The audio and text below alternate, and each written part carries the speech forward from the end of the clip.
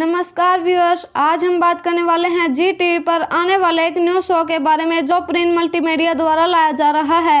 इस शो के प्रोड्यूसर हैं सौरभ तिवारी। बात करें कि इस शो की स्टोरी कंसेप्ट कैसा होने वाला है तो आपको बता दें कि इस शो की स्टोरी में अक्षिता मुदगल और हितेश भारद्वाज, जो कि मेन लीड रोल में हैं, ये ट्राई करेंगे यूपीएस एग्ज़ाम देने की। तो यूपीएस एग्ज़ाम को क्लियर करने का ट्राई करेंगे और कैसे ये एग्ज़ाम क्लियर करते हैं, कैसे इनकी सारी जर्नी रहती है, कैसी कैसी प्रॉब्लम्स का सामना करना पड़ता है तो इसी सब पर बेस्ट होने वाला है ये शो शो की स्टोरी कुछ ऐसी ही होने वाली है, और ज़्यादा डिटेल्स अभी सामने नहीं आई है। कास्ट की बात करें तो अक्षिता मुदगल और हितेश भारद्वाज इस शो में लीड रोल्स में नज़र आएँगे।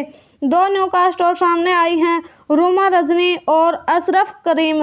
ये दोनों कास्ट भी हमें इस शो में देखने को मिलेंगी, जो काफ़ी इंपॉर्टेंट रोल में नज़र आएँगी। तो व्यर्स आप इस न्यू शो के लिए कितने एक्साइटेड हैं प्लीज़ कमेंट कीजिएगा। Thanks for watching